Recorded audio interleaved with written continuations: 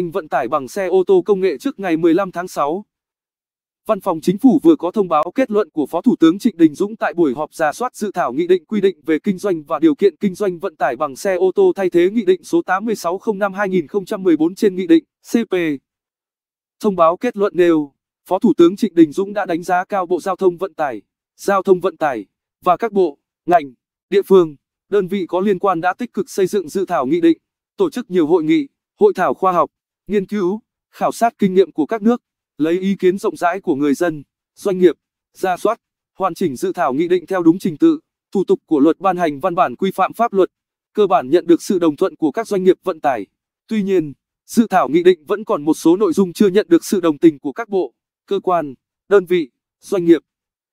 Để bảo đảm tính khả thi khi nghị định được ban hành, phục vụ tốt nhất nhu cầu đi lại của nhân dân, bảo đảm vai trò quản lý nhà nước đối với lĩnh vực kinh doanh vận tải đường bộ, cũng như bảo đảm công bằng, cạnh tranh lành mạnh trong kinh doanh vận tải, tạo hành lang pháp lý để khuyến khích các mô hình đổi mới sáng tạo. Phó Thủ tướng yêu cầu Bộ Giao thông Vận tải khẩn trương nghiên cứu, tiếp tục ra soát, hoàn chỉnh dự thảo nghị định, trình Thủ tướng Chính phủ trước ngày 15 tháng 6 năm 2019.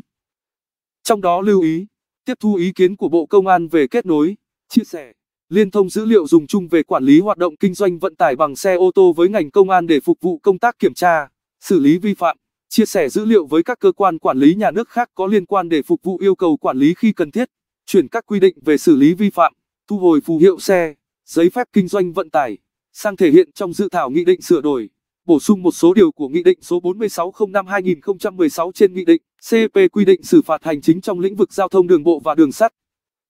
Bộ Giao thông Vận tải phối hợp với Bộ Thông tin và Truyền thông để thống nhất những nội dung liên quan đến đơn vị cung cấp nền tảng kinh doanh vận tải.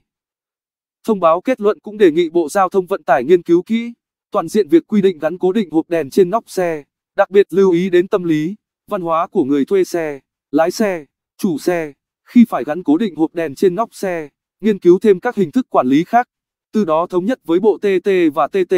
đề xuất quy định phù hợp trong dự thảo nghị định. Gia Minh